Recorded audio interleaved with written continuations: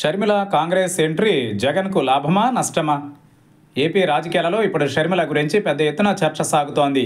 షర్మిల కాంగ్రెస్లో చేరడం ఖాయమైంది. షర్మిలకు ఏపీ కాంగ్రెస్ పగ్గాలు ఇస్తారని ప్రచారం జరుగుతోంది.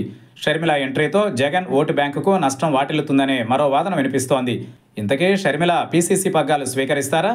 షర్మిల కాంగ్రెస్లో క్రియాశీలకంగా మారితే జగన్ పైన ఉండే ప్రభావం ఏంటి? లాభమా నష్టమా? దీనిపైన విశ్లేషకులు అసలు లెక్క తేల్చేశారు. ముఖ్యమంత్రి జగన్ సోదరి ఏపీ రాజకీయాలలో ఎంట్రీ పైన ప్రస్తుతం రాజకీయంగా ఆసక్తికర చర్చ సాగుతోంది.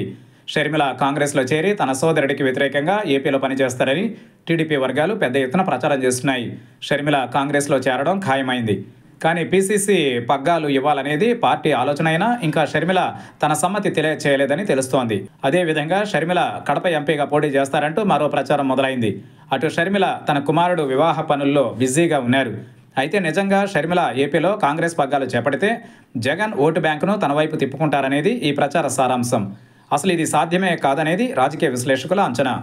కాంగ్రెస్ను వీడిన సమయం నుంచి జగన్ తన పార్టీని ఒక్కో ఇటుక పేర్చి నిర్మించుకున్నారు.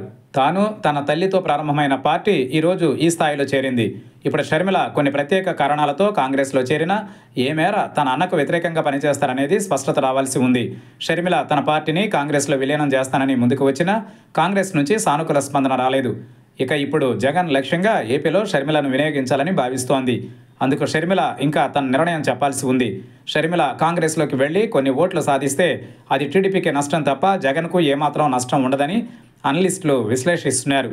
ప్రభుత్వానికి వ్యతిరేకంగా ఎన్ని ఎక్కువ పార్టీలు ఉంటే ప్రభుత్వ వ్యతిరేక ఓటు అంత ఎక్కువగా చీలుతుంది. అయితే ప్రభుత్వ వ్యతిరేక ఓటు చీలకూడదని భావిస్తున్న చంద్రబాబు పవన్కు నష్టం చేసే అంశం.